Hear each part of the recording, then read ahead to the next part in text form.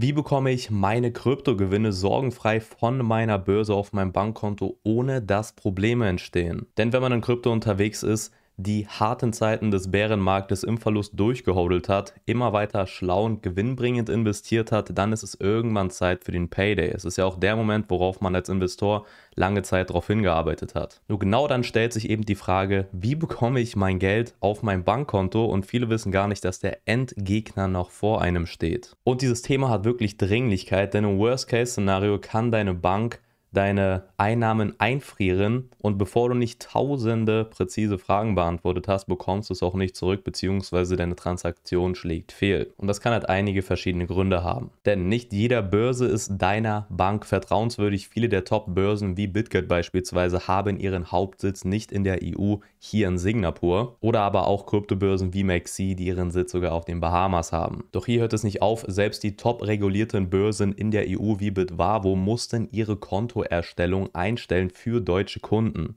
Und das erschwert es ja auch nur noch, eine super Börse dafür zu finden. Ja, und selbst wenn man dann eine passende Kryptobörse gefunden hat, wird sofort ein Mittelherkunftsnachweis gefordert. Und auch wenn das erstmal surreal klingt, hat dies tatsächlich auch wegen dem Geldwäscheschutzgesetz seine Daseinsberechtigung. Und unvorbereitete Investoren stehen dann vor dem Problem, ohne einen gültigen Mittelherkunftsnachweis, dass im Worst-Case-Szenario sogar die Bank dein Konto schließen kann. Denn die Bank ist nicht dazu verpflichtet, dich als Kunde weiter zu betreuen und kann dies einfach schließen. Doch keine Sorge, es gibt auch einen Hoffnungsschimmer. Es gibt nämlich die Möglichkeit, diesen lästigen Prozess zu umgehen und eben sich die Kopfschmerzen zu vereinfachen. Denn es gibt auch Unternehmen, die sich genau diesem Problem gewidmet haben, um eine passende Lösung zu finden. Denn selbst im besten Fall, also mit einem gültigen und präzisen Mittelherkunftsnachweis, ist es ein ewiges Hin und Her was natürlich auch Zeit beansprucht, Nerven beansprucht und jeder, der diesen Prozess schon mal durchlaufen ist, der weiß, denke ich mal, wovon ich rede. Und somit erstmal herzlich willkommen zurück auf meinem Kanal Tech in Crypto. Freut mich, dass auch du heute wieder mit dabei bist. Ich hatte nämlich schon mal gefragt, ob ihr ein Update haben wollt, wie wir die Kryptogewinne auf unser Bankkonto auszahlen können, ohne Probleme. Und ihr habt sehr, sehr oft danach gefragt in den Kommentaren. Und genau deswegen gibt es heute dazu auch ein dezidiertes Video. Ich würde mal sagen, das Problem sollte klar sein. Wir gehen gleich mal zur Lösung. Falls ihr mir noch was zurückgeben möchtet, lasst mir sehr, sehr gerne ein Like da. Zeigt auch gerne den Support auch gerne etwas Nettes in die Kommentare schreiben. Somit helft ihr es, dem Algorithmus an weitere Personen auszutragen. Und falls ihr keine weitere solche Videos mehr verpassen möchtet, gerne auch ein Abo da lassen, gerne auch die Glocke aktivieren, denn es werden noch Update-Videos folgen. Und dann würde ich auch schon mal sagen, wir starten direkt rein nach dem Disclaimer. Ich denke mal, viele sollten von Swiss Money schon mal gehört haben. Es ist ähnlich wie Cointracking ein Kopfschmerzenvereinfacher.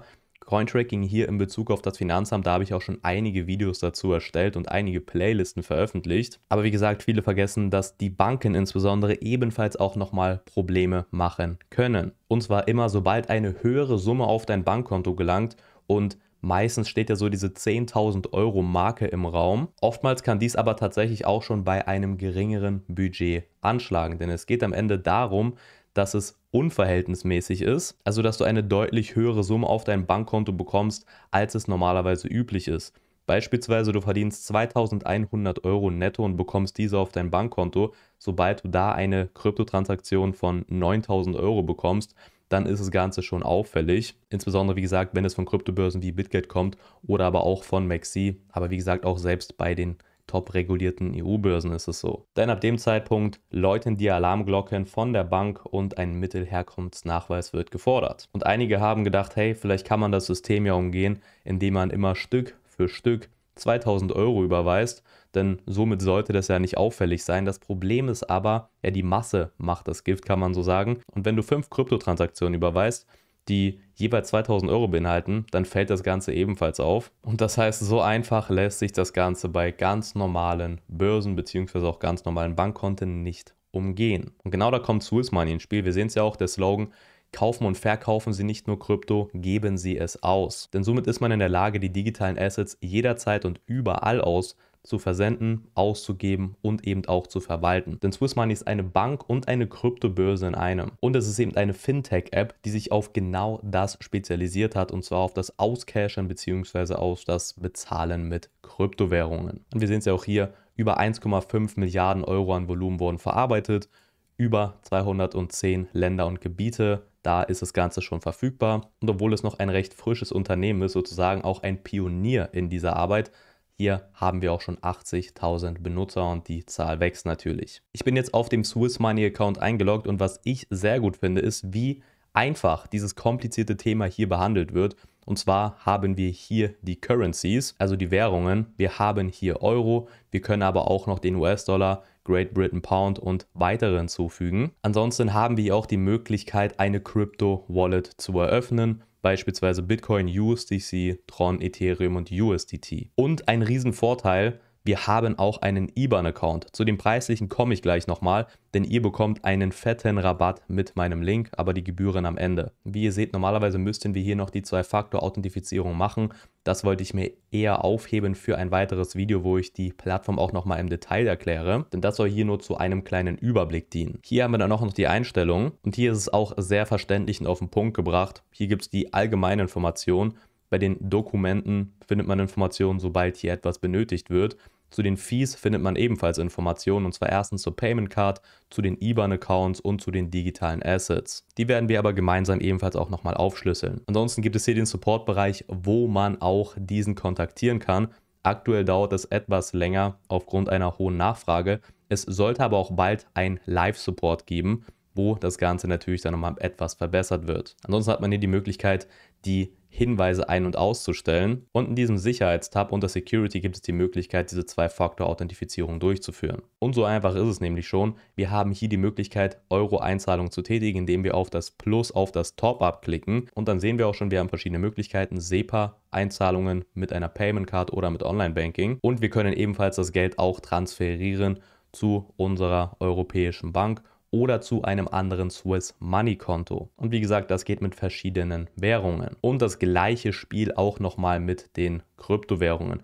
Hier sehen wir, die Auswahl ist nicht allzu groß, aber ich würde Swiss Money auch nicht als Börse verwenden. Für diejenigen, denen diese Kryptowährungen reichen, da kann man das Ganze natürlich auch verwenden, aber Swiss Money hat für mich eben genau diesen Use Case, dass man sich diese Kopfschmerzen bei einer Banküberweisung spart. Und von daher reichen einem genau diese Einzahlungsmöglichkeiten eigentlich auch dicke. Ja, aber dieser Haupt-Use Case hat es eben in sich, weil wir eben die USDT beispielsweise von Maxi, von Bitwavo oder aber auch von BitGet direkt auf Swiss Money übertragen können. Dann können wir das direkt in Euro umkonvertieren und wir können diese Währung dann auch auf unser Bankkonto überweisen oder beispielsweise wir benutzen es für ganz normale alltägliche Dinge, da wir hier auch eine IBAN haben beziehungsweise auch eine Payment Card mit drin haben. Beispielsweise für ganz normale Einkäufe oder aber auch zum Shoppen, möglicherweise aber auch um sich größere Dinge finanzieren zu können, beispielsweise ein Auto oder eine Immobilie. Das heißt, die Möglichkeiten sind hier wirklich grenzenlos. Und das ist etwas, was eigentlich jeder Krypto-Investor brauchte, aber nicht wusste, dass er es brauchte. Und genau da sehe ich eben den Haupt-Use Case von Swiss Money. Denn wir können diese Probleme, wie gesagt, umgehen, da Swiss Money eine Bankenlizenz hat und keine reine Kryptofirma ist.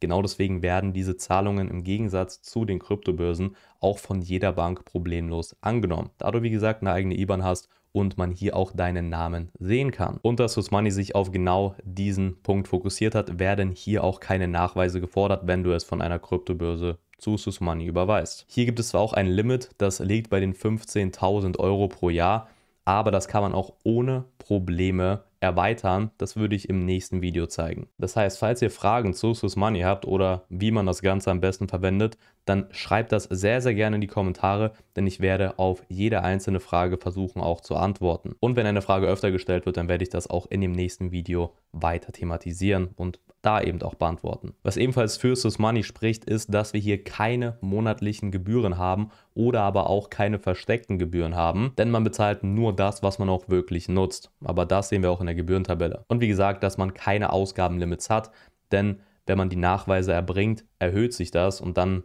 liefert das eben auch keine weiteren Probleme. Wichtig, die Regulation spielt auch hier eine wichtige Rolle. Es ist keine shady Plattform, wo man irgendwie versucht, jede einzelne Sicherheitslinie zu umgehen oder zu überbrücken. Nein, wir sind hier auf der sicheren Seite. Beispielsweise ist deswegen auch diese Zwei-Faktor-Authentifizierung wichtig. Deswegen ist aber auch ein KYC notwendig, also Know Your Customer Verfahren. Das kennen wir aber von so gut wie jeder Börse. Wir müssen es beispielsweise auch bei Kryptobörsen wie BitGet oder aber auch bei Maxi machen.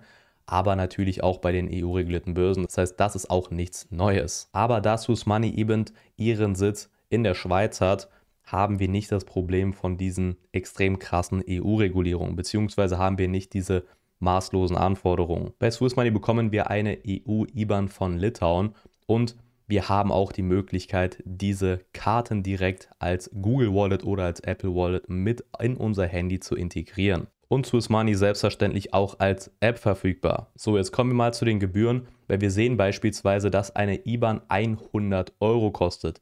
Das ist eine recht brachiale Summe und genau deswegen kann ich mit Stolz verkünden, dass ihr mit meinem Link unten in der Videobeschreibung, es ist ein Reflink, das heißt, ihr unterstützt somit auch meinen Kanal und meine Arbeit, aber ihr bekommt damit auch einen Discount von 75%. Das heißt, ihr müsst nur noch für die IBAN 25 Euro bezahlen. Und mit meinem Link ebenfalls bekommt ihr auch einen Anmeldebonus von 25 USDT. Das bedeutet, man bekommt das Geld so gut wie wieder rein und die IBAN ist geschenkt, die normalerweise 100 Euro kostet. Das war mir persönlich sehr wichtig, dass es für jede einzelne Person auch möglich ist, sich diese IBAN zu beantragen.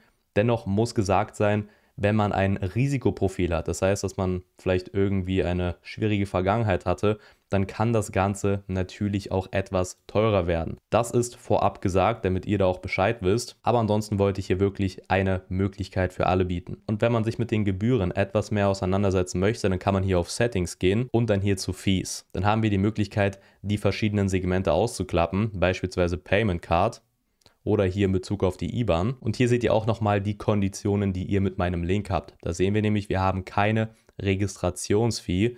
Die IBAN, die kostet 25 Euro. Und wenn du auf deinen SEPA-Account überweist, dann kostet das 1 Euro. Und wenn du von diesem SEPA-Account überweist, dann kostet es auch Minimum 1 Euro, aber es fällt generell eine Gebühr von 0,25% an, was vollkommen okay ist. Das bezieht sich auf SEPA. Bei Swift ist das Ganze etwas teurer, da wurde es auf 30 Euro angehoben und ebenfalls hier, wenn du von dem Swift-Account irgendwo zu einem anderen Swift-Account überweist, dann kostet das ebenfalls 30 Euro Minimum und eben 1%. Die Währungseinzahlungen auf die Karte kosten 4% und wie gesagt, wir haben hier keine versteckten Kosten, keine monatlichen oder jährlichen Zahlungen. Wenn du Währungen umzahlst, kommen hier ebenfalls nochmal 1% bei der Gebühr mit hinzu. Ansonsten sind Top-Ups mit USDT, also wenn du da weiter einzahlst, diese sind kostenlos geworden. Am billigsten ist hier TRX, also Tron. Das können wir hier bei den Crypto Services genauer nochmal nachschauen. Das heißt, pausiert das Video gerne, falls ihr euch das nochmal genauer durchlesen möchtet. Und ansonsten könnt ihr für einen Euro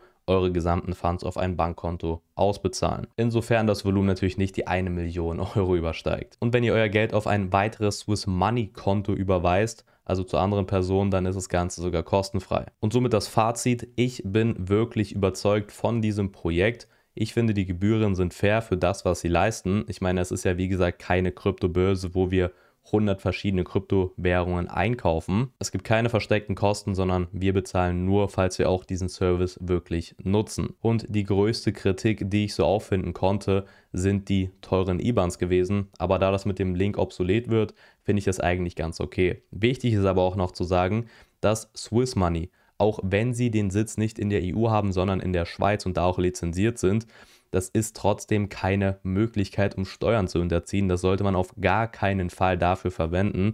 Denn wie gesagt, es ist einfach nur ein anderer Use Case. Und zwar, man verwendet es dafür, um keine Probleme bei der Börsen zur Bankauszahlung zu haben. Um das Steuerliche, da braucht man meines Erachtens nach trotzdem Cointracking und man sollte trotzdem, auch wenn man sich damit diese gesamten Kopfschmerzen eines Mittelherkunftsnachweises wahrscheinlich denen auch entgehen kann, braucht man meiner Meinung nach trotzdem auch das Steuerliche mit Cointracking. Und wie gesagt, falls ihr wollt, dass ich auf ein Thema nochmal etwas genauer drauf eingehe, dann schreibt mir das mal gerne in die Kommentare. Und somit kann ich mir die Punkte sammeln und ein großes FAQ zu dem Thema machen. Und ich weiß, besonders als Neuling kann das etwas stressig sein, denn vieles ist wie gesagt Neuland und man muss sich mit so vielen Dingen auseinandersetzen. Aber ich finde es trotzdem extrem wichtig, dass man sich mit solchen Sachen im Vorhinein auch beschäftigt. Glaubt mir, ihr wollt nicht erst anfangen, wenn die Zeit drängt und ihr beispielsweise am liebsten innerhalb von zwei Tagen euch eine Immobilie mit dem Gewinn finanzieren wollt oder eure Kryptogewinne auscashen wollt für Steuernachzahlen oder für sonst was.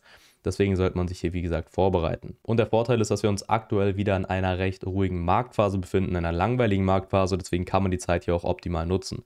Und Somit fühlt man sich eben auch wie ein Einserschüler oder ein Einserstudent, der einen Tag vor den Prüfungen oder einen Tag vor dem Test gar keine Probleme mehr hat, währenddessen die anderen noch krampfhaft fünf Minuten vor dem Test oder vor der Prüfung noch versuchen irgendwie Bulimie lernen zu betreiben. Und die letzte Information, ihr müsst natürlich nicht meinen Link verwenden. Ihr könnt das Ganze auch einfach so nutzen, wenn ihr von dem Service überzeugt seid und mir diese 5 Euro Provision beispielsweise nicht gönnen möchtet. Dann muss ich euch aber auch sagen, dass ihr für die IBAN beispielsweise 100 Euro bezahlen müsst und euch auch einige Bonis entgehen. Ansonsten war es das von meinem Part und ich würde sagen, wir sehen uns auf jeden Fall bis zum nächsten Video und bis dahin. Peace out.